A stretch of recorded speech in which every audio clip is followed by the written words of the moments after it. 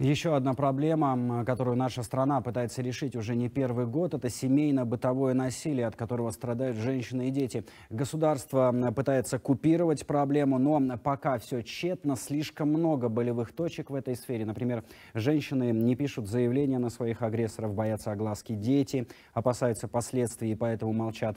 Часто происходит примирение по принуждению или э, давление на одну из сторон конфликта родителями. Эксперты говорят, что нужно ужесточить наказание в отношении тех, кто совершает бытовое насилие. Э, сегодня в Казахстане для решения таких проблем задействовано большое количество инстанций, суды, правоохранительные органы, но действуют они просто для того, чтобы вынести предупреждение агрессору, что так себя вести нельзя. Затем идет административный арест, несколько суток лишения свободы перемещения. А если агрессор совершит, совершит более тяжкое преступление, то могут привлечь к ответственности от 15 суток и выше. Вот эта неадекватность наказания э, порождает безнаказанное агрессивное поведение в семье, где особенно беззащитны женщины. Наш корреспондент Алия Букенова с подробностями. 27-летняя жительница столицы Мадина, так она попросила ее представить и скрыть ее местонахождение на протяжении полутора лет, подвергалась преследованию со стороны бывшего мужа. Развод не защитил женщину от побоев. Был момент, когда он меня побил по, по пьяни. Я взяла дочь, чтобы успокоить. Несмотря на это, несмотря на то, что ребенок у меня на руках, он начал меня трясти, говорить всякие гадости, ну, пугая тем самым ребенка, меня а, ударил меня прямо вот когда ребенок был на руках.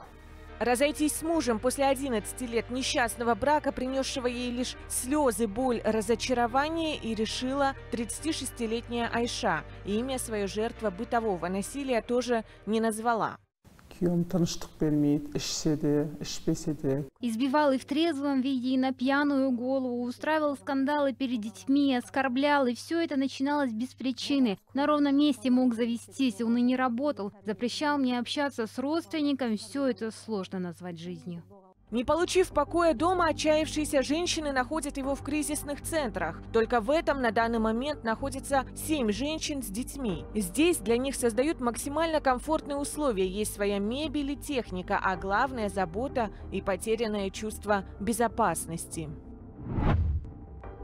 В кризисные центры зачастую приходят женщины, которые в буквальном смысле остались на улице. Дома муж тиран, в отчим упрекают, мол, не сохранила брак. Есть и те, чьи родные не имеют возможности помочь.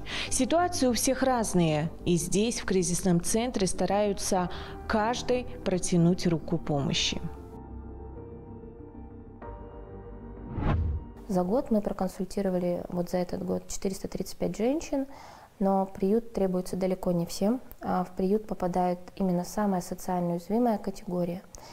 И, а, как правило, а, женщины, которые попадают в приют, это те, кого привозит полиция. То есть у нас есть самообращение, есть, когда полиция доставляет именно после факта насилия. Впрочем, дело до полиции доходит не всегда. Кто-то терпит насилие годами, поверив обещаниям агрессора о том, что все изменится. И зря. За четыре с половиной года от рук тиранов погибли почти 900 женщин, больше двух тысяч получили серьезные увечья и травмы. Насильники не знают границ жестокости, мучают, избивают, наносят удары ножом или тяжелыми предметами. Самое ужасное остаются безнаказанными. В МВД возлагают надежды на недавние поправки в законодательство.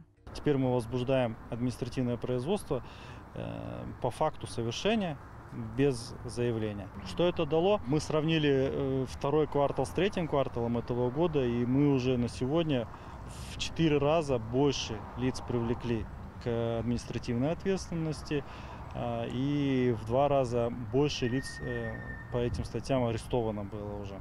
Детальный портрет абьюзера психологи пытались рисовать не раз. Даже предполагали, что агрессия может возникнуть, исходя из социального положения. Тщетно. Причины разные, есть и неожиданные. Ясно одно – никто не застрахован от брака с тираном.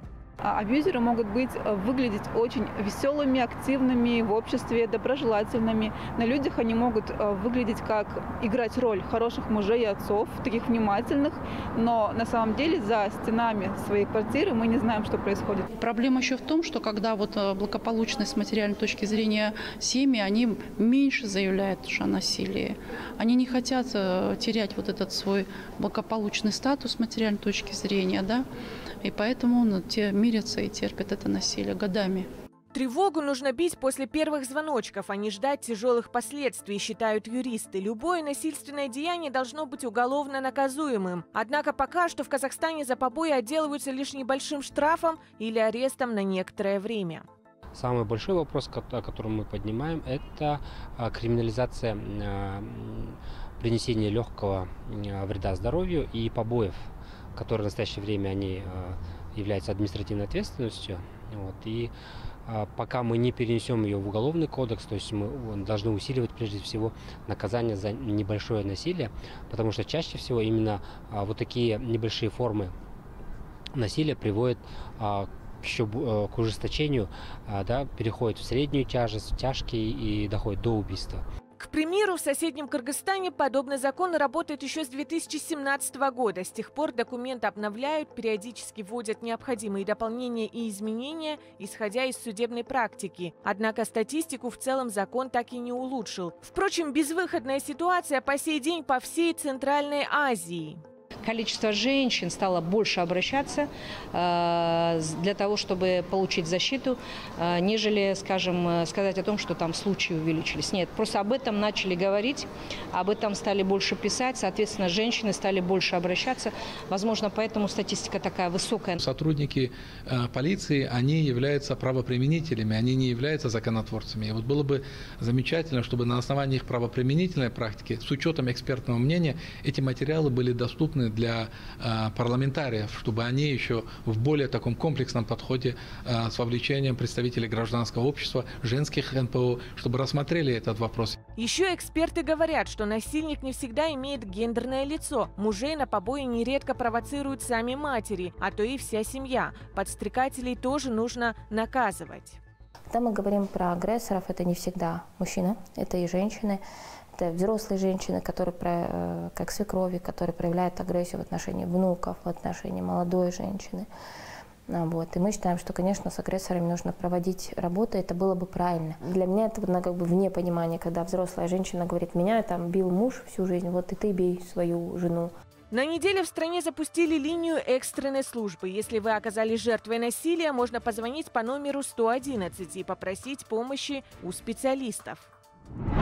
Унять пыл дебаширов могли бы общественные работы. Это другое предложение юристов. В то время как на Западе трудотерапия – одна из популярных мер наказания, применяемая ко всем без исключения, у нас практика общественных работ так и не прижилась. Есть ли шанс, что подметая улицы или убирая мусор, вчерашние агрессоры могут измениться, сложно ответить. Ясно одно – безнаказанность еще больше развязывает руки абьюзерам.